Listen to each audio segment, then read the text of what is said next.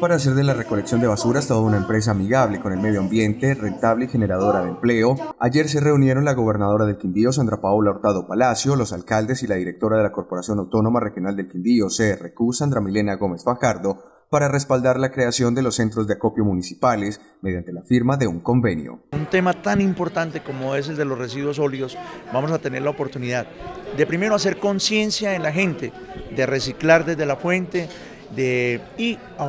bajar unos costos con la empresa operadora de los servicios públicos, en ese caso la que nos recoge los residuos, las basuras en el municipio de Montenegro, porque ya les vamos a poder cobrar a ellos esas toneladas de basura que vamos a poder reciclar y yo sé que la comunidad en Montenegro vamos a hacer un, un trabajo grande para que adquieran conciencia, reciclar desde la fuente que nos va a ayudar a todos. Este es un proyecto al que la CRQ ya le invirtió más de 158 millones de pesos en apoyo a la formulación de los planes generales integrales de residuos sólidos en nueve municipios y del que hay más de 632 toneladas de residuos aprovechados en la actualidad. Bueno, la propuesta que acabamos de escuchar por parte de la Corporación de Red de Condía sobre los centros de acopio, yo creo que es la mejor propuesta por parte del municipio de Salento, pues la, es bienvenida a la propuesta, la vamos a, acoger en su totalidad. Yo creo que estamos acá dispuestos lo que es a